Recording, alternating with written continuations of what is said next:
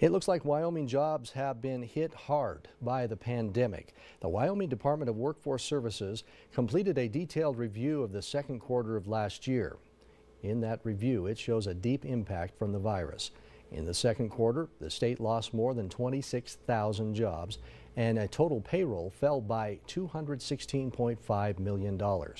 The largest job losses were in the leisure and hospitality industries. Oil and gas industries saw the second most losses.